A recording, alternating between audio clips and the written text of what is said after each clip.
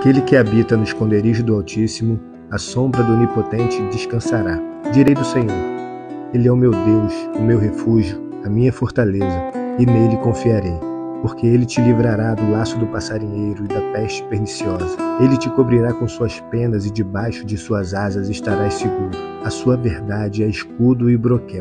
Não temerás espanto noturno nem seta que voe de dia, nem peste que ande na escuridão, nem mortandade que assole ao meio-dia. Mil cairão ao teu lado, dez mil à tua direita, mas tu não serás atingido. Somente com os teus olhos olharás e verás a recompensa dos ímpios, porque tu, ó Senhor, és o meu refúgio, o Altíssimo é a tua habitação.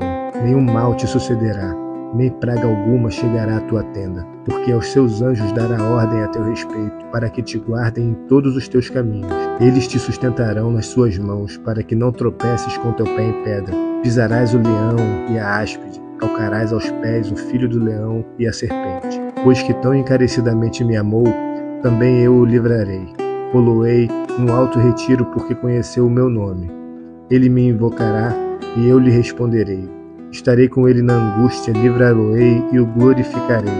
Dar-lhe-ei abundância de dias e lhe mostrarei a minha salvação.